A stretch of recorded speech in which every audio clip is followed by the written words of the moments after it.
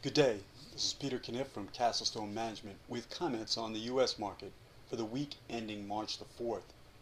The S&P 500 snapped a three-week losing streak and the Dow reversed a four-week downtrend as investors interpreted recent economic data as positive signs for the economy. The Dow climbed 1.8% to 33,390.97.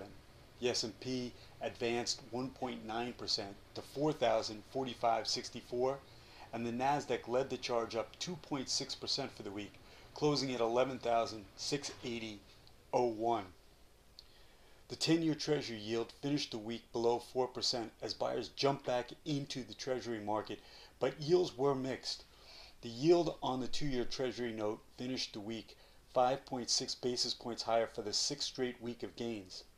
The 10 year note yield climbed 1.4 basis points for this week, also gaining for a sixth straight week, but the yield on the 30 year note fell 5.1 basis points.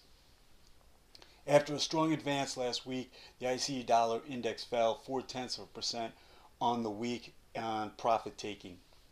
The price of gold scored its first weekly gain in five weeks, rising 2.06% over the five trading sessions. Oil prices rallied on optimism over Chinese demand.